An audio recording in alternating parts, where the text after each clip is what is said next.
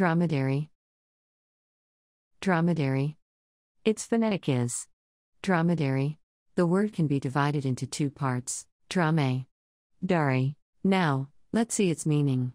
The one humped camel, Camelus dromedarius, currently existing only as a domestic or feral animal.